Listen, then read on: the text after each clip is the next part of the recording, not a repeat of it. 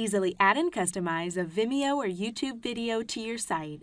Get started by clicking Add, Media, Video. Place a default video anywhere on your page. If you would like to change the video sizing, be sure to use the corner frame toggles and pull in the direction of the arrow to maintain the existing aspect ratio. Now, click on the video, followed by Settings. Under Video URL, place a link from YouTube or Vimeo, and click Update. If you've added a YouTube video, you'll be able to select whether to show, hide, or auto-hide the control bar. Auto-hide means that the controls will display only after the user clicks on the video to play it. You can customize your video player with any one of these options.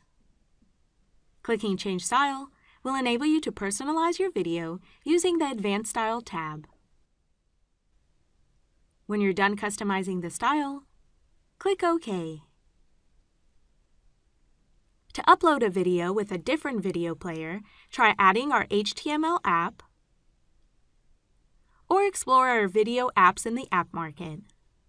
You can learn more about this or any of our other features by visiting our Learning Center at Wix.com.